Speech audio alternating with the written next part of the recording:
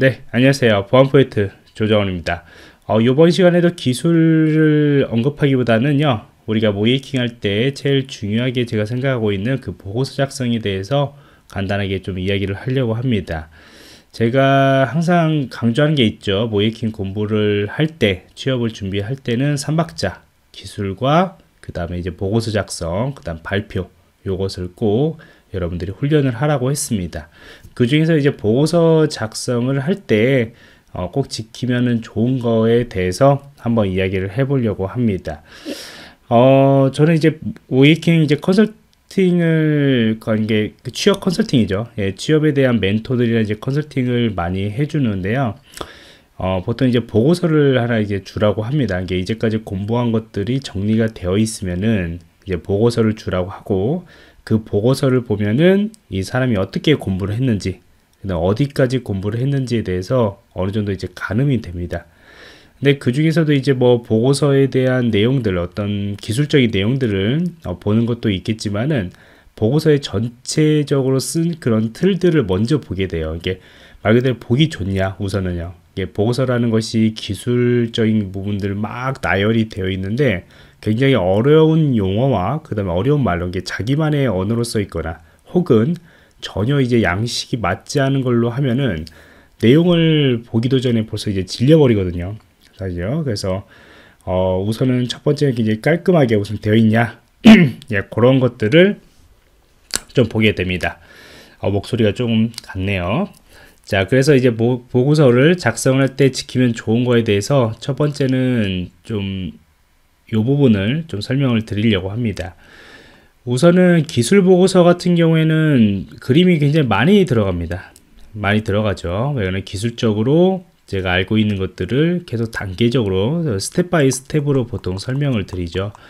물론 이제 기술 보고서보다도 그냥 뭐 이렇게 문학적인 어떠한 글들 쓰는 것이 훨씬 더 어렵죠. 사실 에세이 쓰기도 좀 어려운 부분들도 있고요. 그래서 기술적인 문서들을 쓰는 것이 그나마 좀 많이 쉽습니다. 그래서 저도 뭐 책을 많이 썼지만은 제가 글을 잘 써가지고 그런 것은 아니고 이제 기술적인 것들을 그런 글 쓰는 어떤 어떻게 보면 좀 많이 쓰다 보니까 하나의 그런 노하우 예, 그런 것들이 생기다 보니까 오늘 이야기하는 것들이 그 노하우들이 좀 들어가 있다고 보시면 돼요. 그래서 그런 것들이 익숙해지다 보니까 좀 많이 썼다고 보시면 돼요. 근데 이제 기술 보고서를 이렇게 어, 이렇게 보게 되면은 정말로 한 3분의 2가 그림으로 채워져 있는 경우들도 있습니다. 이렇게 보고서를 이렇게 취업 준비생들이 보면은 이게 굉장히 뭔가 많은 것들을 기술을 한 것처럼 뭐가 보이긴 보이는데 다 그림만 이렇게 막 붙여 있어요.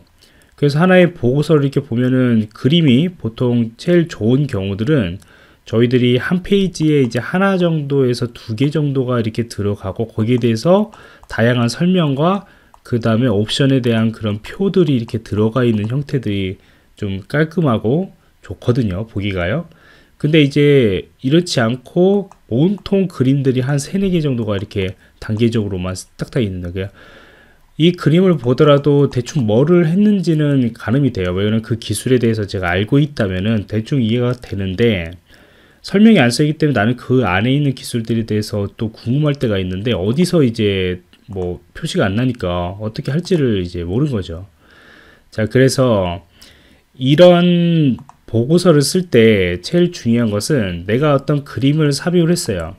그러면 그 그림에 대해서 충분히 내용들을 언급을 해줘야 합니다. 자, 한번 볼까요?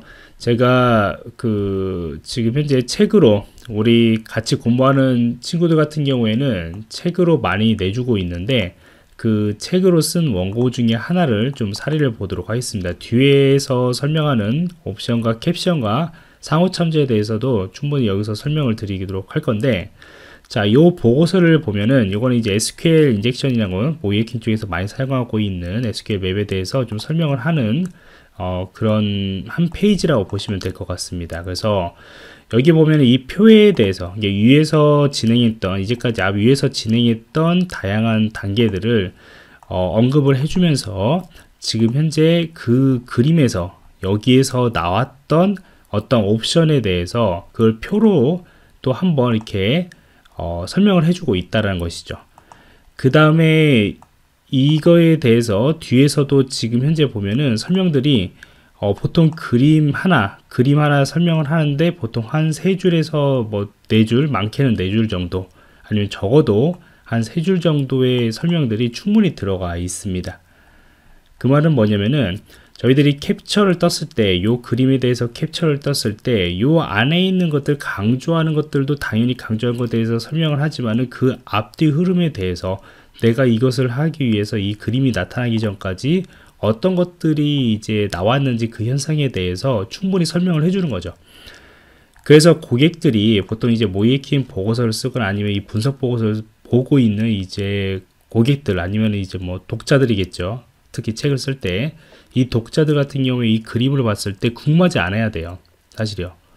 이게 굉장히 그림에서는 굉장히 많은 뭔가 문자들이 막 들어가 있는데 전혀 설명은 그냥 뭐 이것은 뭐 그런 결과입니다. 아니면 이것은 어떤 옵션을 넣은 그런 결과입니다. 라고 하면은 대체 이 결과가 어떤 것에 대해서 이제 궁금한 것이죠. 고객사 입장에서는 이것을 계속 컨설턴트한테 물어봐야 하잖아요. 근데 계속 물어본다고 생각을 해보세요. 전화기로 계속 물어보다가 나중에 성질 내 가지고 아이씨 왜 그림 요거 보고서 빨리 설명 다 채워주라고 이렇게 설명을 할 거냐면은 할 거냐면 다 채워줘라. 설명 충분히 채워줘라. 이렇게 이야기를 하겠죠. 그러면 나중에는 또 보고서를 또 수정을 하는 그런 것들이 계속 영수적으로 발생을 하겠죠.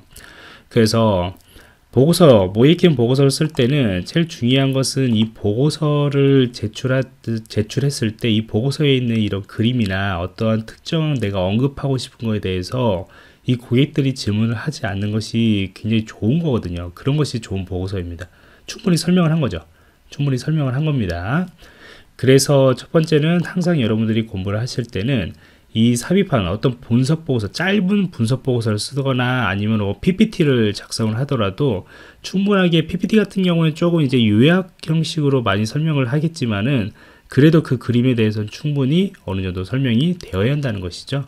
그래서 보고서는 이 그림에 대해서 충분히 설명을 할 수 있는 만약 여러분들이 어떠한 그림을 이렇게 그림을 삽입을 했는데 여기에 대해서 전혀 이제 좀 설명하기가 너무 이렇게 힘들거나 글로 안 써진다. 그러면은 어, 쓰는 사람들 당사자도 그 그림에 대해서 충분히 이해를 못한 겁니다. 그렇기 때문에 그거는 공부를 더 많이 하시거나 아니면은 충분히 설명할 수 있는 그런 습관들, 이렇게 글 쓰는 습관들을 좀 들여야 합니다. 그 다음에 이제 두 번째는 이제 목차, 캡션, 상호 참조 요 세 개 정도는 적어도 지켜라라고 저는 이야기를 합니다. 목차 같은 경우에는 여기 금방 이, 금방 제가 보여줬던 요 보고서에서도 지금 현재 보기를 해서 탐색장을 보면 목차가 이렇게 설정이 되어 있어요. 예, 그렇죠. 그래서 목차를 찍었을 때 정확하게 그 목차로 갈 수 있는 그런 형태들, 이런 목차들 보석을 보면은 보통 이제 이 목차조차도 설정을 안 했는 거죠. 예, 설정을 안 해놔가지고 나중에 이제 찾을 때 그 문자로 이게 쭉 들어가면서 계속 찾는 예, 그런 경우들도 있는 것이고요. 그 다음에 이제 아래쪽에 보시면은 어, 이렇게 긁어보면은 저희들이 한 문장들을 이렇게 쭉 이렇게 긁어보시면은 어떤 현상이 나냐면 여기 위아래가 이렇게 그림 안에 보면은 이렇게 음영으로 처리되는 것이 있습니다. 음영. 이 음영으로 처리되어 있다는 것은 이게 캡션이라는 것이 지금 현재 적용이 되어 있다는 것이거든요. 그 다음에 위에 내용들을 이렇게 쭉 긁어보면은 또 여기에도 이렇게 음영 처리가 되어 있어요. 그렇죠? 음영 처리가 이렇게 되어 있죠. 이 같은 경우는 뭔가가 서식이 지금 적용되어 있다는 것이고 이 본문에 들어가는 거에 대해서는 바로 이제 상호 참조라고 합니다. 이 상호 참조라는 것은 아래에 있는 표나 어떤 그림, 어떤 캡션에 대해서 계속 따라가는 거예요. 따라갑니다. 그래서 만약 중간에 어떠한 그림들이 여기 사이로 들어오면은 이 상호참들도 거기에 맞춰서 변경된 거의 내용에 맞춰서 자동으로 우리가 업데이트를 하게 되면 자동으로 요거 목록들도 업데이트가 되는 겁니다.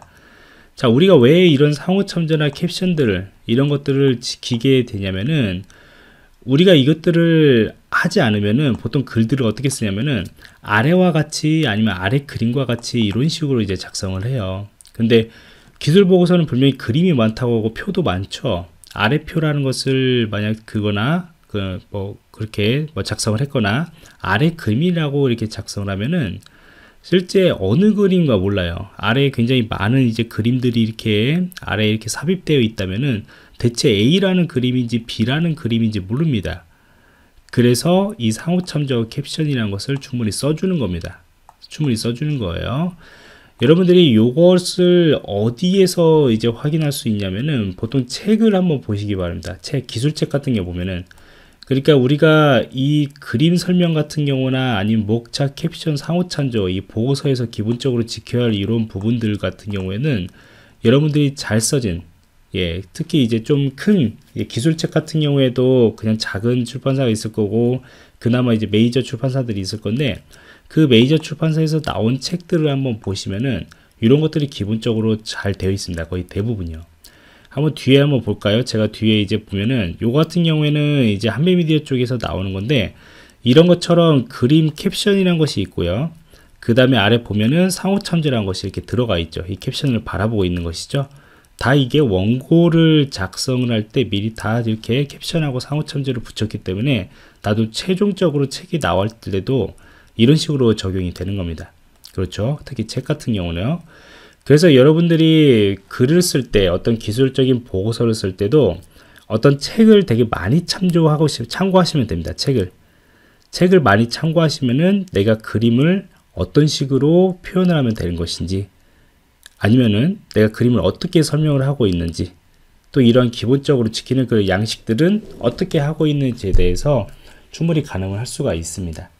그래서 그것들을 항상 여러분들이 책을 보시면서도 그 안에 있는 내용들도 보겠지만 어떻게 편집되어 있는지 예, 그것들도 많이 자주 보시면은 나중에 뭐 보고서 쓸 때뿐만 아니고 책을 쓸 때도 나는 큰 도움이 아마 되실 겁니다. 그 다음에 세 번째는 이제 보고서 양식이에요. 보고서 양식은 위에서 이야기했던 이런 목차 캡션 상호 참조. 그 다음에 어떤 스타일십, 스타일이 들어가 있는 그런 것들, 개요 번호 들어가 있는 그런 것들을 지켜야겠죠. 예, 지켜야 하고 통일이 돼야 합니다. 특히 기술 보고서를 작성할 때 아이콘들 많이 삽입되는 거 있습니다. 특히 모이에킹 할 때는 어떤 시나리오를 구성할 때 제가 앞에서 강의했던 것들도 이렇게 표, 그, 그 PPT를 보면은 다 이렇게 아이콘들도 조금 어, 정성들의 선택했던 것들을 아마 좀 볼 수 있을 거예요. 그래서 우리가 어떤 신,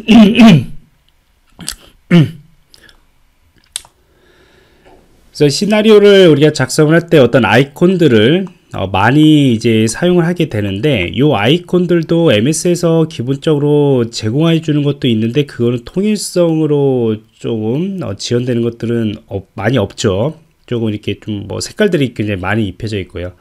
근데 좀 깔끔하게 보이는 것은 좀 검은 아이콘들 아니면은 이렇게 좀 파란 아이콘들 이런 것들이 좀 깔끔하게 보이거든요.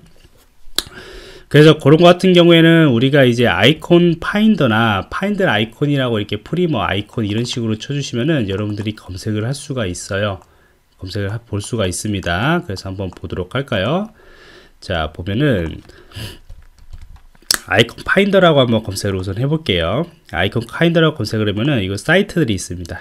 이 사이트 같은 경우에도 굉장히 많은 아이콘들을 제공하고 있는데 유료로 제공하는 것들도 있고 무료로 제공하는 것들도 있어요. 그래서 만약 PDF라는 내가 아이콘을 찾고 싶다 관련된 것들을 찾고 싶다라고 한다면은 여기에 보시면은 이렇게 무료로 이렇게 제공해 주는 것들이 있습니다. 그래서 이 무료로 제공해 준것 중에서도 서로 뭔가 맞는 것들, 이게 비슷한 어떤 계통의 그런 어, 아이콘 형태들을 가지고 이용을 한다면은 좀 더 깔끔하게 여러분들이 활용을 할 수가 있겠죠.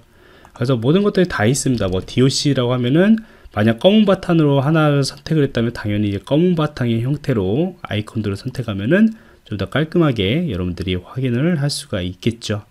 있을 겁니다. 그래서 항상 여러분들이 이런 보고서의 양식들, 그 다음에 위에 설명했던 양식들, 그 다음에 아이콘들에 대해서만 어느 정도 통일성을 지켜주셔도 굉장히 깔끔하게 보입니다. 예, 깔끔하게 보입니다. 그래서 보통 이제 모이킹 할 때도 아까도 이야기했듯이 어떤 것들 시나리오 같은 경우나 공격적인 것들을 내가 침투 그런 경로들을 설명을 할 때도 뭐 난잡한 아이콘을 막 선택하면은 되게 보기 싫어요 사실요 예, 그래서 그런 것들을 꼭 이런 것들 기본적으로 지키시면 좋을 것 같습니다 그 다음에 이제 네 번째는 우리가 한글 표기라고 이야기를 하죠. 한글 표기입니다. 어, 기술 보고서를 쓰다 보면은 여러분들이 거의 다 대부분 이제 번역에 의해서 써지는 것들도 있고 아니면 그 용어들이 다 이제 영문에서 나온 것들이죠. 거의 대부분요. 그렇기 때문에 어, 우리가 익숙해요. 이게 우리가 기술을 계속 했던 사람들은 보고서를 쓸 때 그냥 영문으로 쓰는 것들, 영문으로 이렇게 표기하는 것들이 굉장히 익숙합니다. 그리고 말하는 것들 자체가 다 어차피 기술은 다 영어이기 때문에 거의 다요. 그렇기 때문에 그거를 그대로 이제 글로 영어로 이제 표현을 하는 거죠.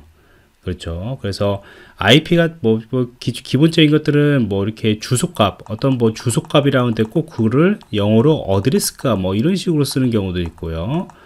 그 다음에 뭐라 쓸까요? 뭐 MAC 정보, MAC 정보 같은 경우에는 우리가 MAC 주소, MAC 정보 이렇게 어, 그냥 표시를 해도 되는데 그걸 또 MAC address라고 또 이런 식으로 많이 표현하는 경우도 있고 꼭 굳이 우리가 한글로 표기를 해도 이것들을 다 이해할 수가 있음에도 불구하고 걔를 다 영어로 이렇게 표기하다 보면은 어떤 현상이냐면 보고서에 반절이 영어예요. 반절이 영어. 예, 특히 기술 보고서를 보면요. 그러면 이제 우리가 글을 읽을 때 아무리 우리가 기술을 많이 익혔던 사람이라도 좀 이해가 되겠지만은 가독성이라는 것은 확실히 떨어집니다. 왜 한번 그것이 어, 해석을 어느 정도 해야 하기 때문에 익숙한 단어일지라도 한번 이게 해석이 들어가거든요. 이 뇌에서는요. 그래도 이제 가독성이 굉장히 떨어지게 됩니다. 그래서 한글 표기를 할 수 있는 부분들에 대해서는 확실하게 한글 표기를 하셔가지고 이 글 읽는 거에 대해서 예, 글 읽는 거에 대해서 가독성을 높일 필요는 있습니다. 그래서 보고서를 보통 이제 고객들 같은 경우도 보면은 영문들이 되게 많이 들어가 있으면은 되게 뭔 의미인지부터 시작해서 그 다음에 잘 안 읽어진다고 이렇게 많이 이야기하는 경우들도 있어요. 그게 바로 한글 표기 때문에 그러거든요. 그런 경우들이고요. 그 다음에 이제 보고서 쓸 때 조금 잘못된 생각 같은 경우는 뭐냐면은 우리가 양식하고 어떤 것들 아이콘을 통일한다. 이게 어떤 양식을 지켜라 라고 하는 건데 그 양식에 대해서 되게 어려워하는 부분도 있어요. 특히 어떤 디자인을 생각하는 경우들도 있습니다. 디자인이요. 이게 내가 디자인을 해야 하는가? PPT 같은 경우도 디자인을 해야 하는가? 그게 아니거든요, 사실요. 왜냐면 PPT 같은 경우에는 어느 정도는 이제 양식 같은 경우는 회사 내에서 가지고 있을 거고요. 통일된 것들은 가지고 있을 거고 거기에 대해서 그 거기에서 사용하고 있는 그런 디자인 패턴들을 이제 사용하라. 네, 그런 거죠. 그래서 책 같은 데 보면은 이런 거 같은 경우에는 사실 보고서 우리 참고할 때 아까 앞에서 제가 이제 책 같은 건 많이 참고해라 라고 했는데 이렇게 조금 이쁘게 이렇게 작성된 것들은 한 번은 이제 편집자의 손을 한번 이렇게 거치게 돼요. 물론 정말로 이건 저는 제가 이게 편집자로의 손을 거쳤는지 아니면 이제 뭐 정말 저자가 이렇게 만든지 거의 대부분 편집자의 손을 거치게 됩니다. 좀, 좀 이렇게 어, 색깔이나 예, 그런 것들도 한번 보면은 그렇게 느껴져요. 그리고 편집자분들 같은 경우에도 지금 보라색이나 지금 파란색 이런 계통들도 여기에 지금 알맞게 어느 정도 이제 맞춰가면서 이제 편집을 한 거거든요. 근데 보고서 쓸 때는 이런 형태들 같은 경우가 이제 우리가 디자인을 입힌다라고 하는데 디자인 이렇게 정도까지 입힐 필요는 없다라는 거죠. 이거는 이제 책에 대한 편집을 한 거기 때문에 이런 식으로 저희들이 어, 좀 투자를 해서 이렇게 했다고 보시면 될 것 같고요. 여러분들 제가 이야기하는 것들은 어떤 디자인을 되게 이쁘게 해라 예, 그런 것이 아니고 최대한 최소한 예, 최소한 양식을 여기 대한 통일성들은 지키면서 보고서를 써야 한다 라고 제가 이제 강조를 하는 것입니다. 그래서 요 네 가지 정도 현재 보면은 이제 이 네 가지 정도의 좀 설명을 드렸는데 요 네 가지에 대해서만 지키시면서 여러분들이 만약 공부한 것을 정리를 해가지고 단기적으로 중기적으로 이렇게 여러분들 보고서를 하나씩 하나씩 끝맺히면은 나중에 여러분들 이력서 쓸 때도 큰 도움이 될 것이고요. 그 다음에 어, 면접을 볼 때도 이런 것들에 대해서 어느 정도 플러스를 좀 받을 수 있을 거라고 예, 그렇게 생각을 하게 됩니다.